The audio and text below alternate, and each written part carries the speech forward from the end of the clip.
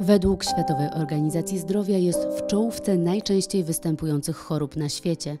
Zachorować może na nią każdy, bez względu na wiek, płeć czy status społeczny. Żyjąc coraz szybciej i intensywniej, stajemy się coraz bardziej samotni. Depresja to nie powód do wstydu, to choroba, taka sama jak każda inna.